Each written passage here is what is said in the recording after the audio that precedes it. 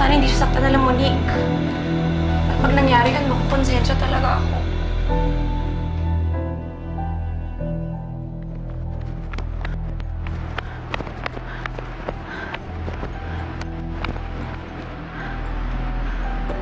Sino kaya ang lalaking yun?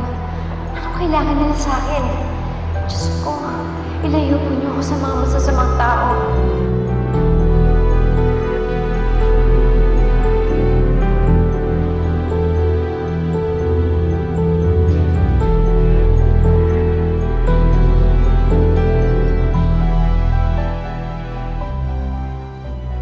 Mamang pulis. Diyos ko, tulungan mo ko. Oh, ma'am, bakit po? May dalawang mamang humabol sa akin.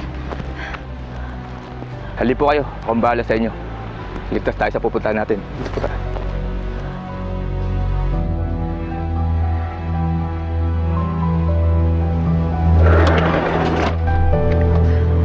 Kayo yung humahabol sa akin kanina. Anong gagawin niyo sa akin? 真的。